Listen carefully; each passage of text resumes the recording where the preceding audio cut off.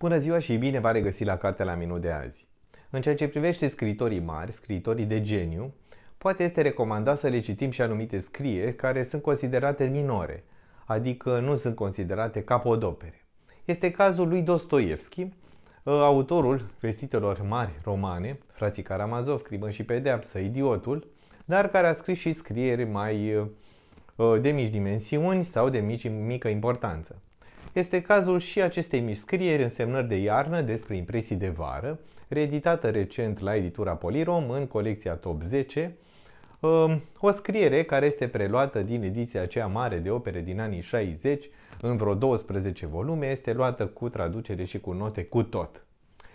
Bun, pot să spun că această scriere mi-a făcut plăcere, pentru că am descoperit un Dostoevski eseist.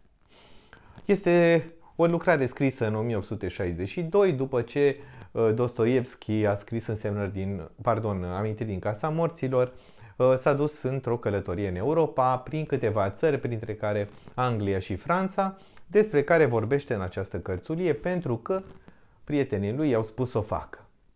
Și în inim putem imagina pe Dostoevski stând lângă șemineu, iarna, scriind la amintirile pe care le are despre călătoria la Londra și la Paris. Dar nu se oprește aici, ci începe să se gândească la uh, societatea rusească de pe vremea lui.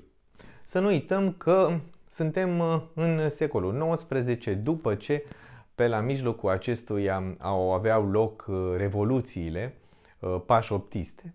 De asemenea, uh, să nu uităm că scrie uh, această cărțulie într-un uh, context în care scriitorii ruși erau super uh, pasionați de uh, ideologie și de propagandă.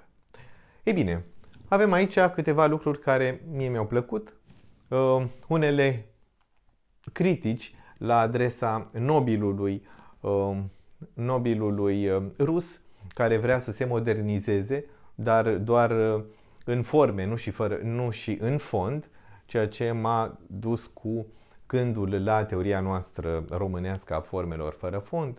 De asemenea, sunt câteva lucruri care nu mi-au plăcut, uh, pentru că m-au impresionat în mod negativ.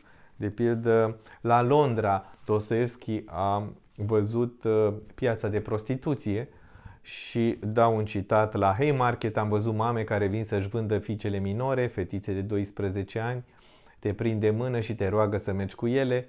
Mi-aduc aminte că într-o zi am văzut în mulțime pe stradă o fetiță de vreo șase ani cel mult, toată în zdrențe, murdară, desculță, istovită și bătută. Trupul ei care se întrezărea printre zdrențe era plin de vinătăi. M-a impresionat de asemenea faptul că mulți din bărbații londonezi își bat îngrozitor nevestele, le schilodesc de moarte și o fac mai mult cu vătraiul de scormoni jarul din sobă. E un instrument folosit de ea nume pentru bătaie cel puțin în ziare, atunci când se descriu certurile, schilodirile și omorurile familiale, se vorbește întotdeauna de vătrai.